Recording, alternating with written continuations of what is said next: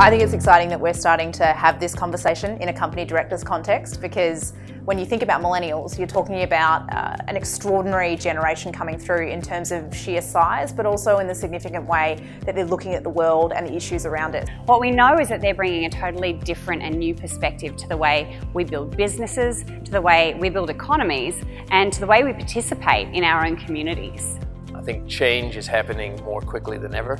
There's uh, definitely an acceleration in terms of what boards need to address and how they need to adapt their, their strategy for that. They have been interacting with technology and the, and the opportunities that it provides from a very early age. And that gives them a different mindset as to how they approach the risk associated with that, but also what they can gain from it having that diversity of thinking, different skills, different experiences, different backgrounds. It's really, it's all important. I don't think you can just focus on experience. Definitely experience is very, very important. Like you can't look past that, but that's how you structure your board to add value. They're a generation of digital natives.